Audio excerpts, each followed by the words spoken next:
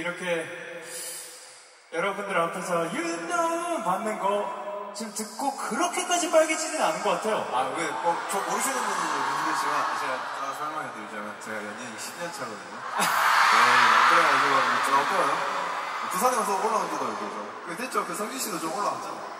올라온 지좀 됐잖아요. 그죠? 대답을 해요. 네, 예, 맞습니다.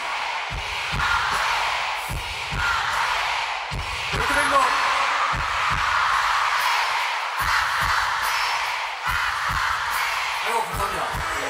UK! UK! UK!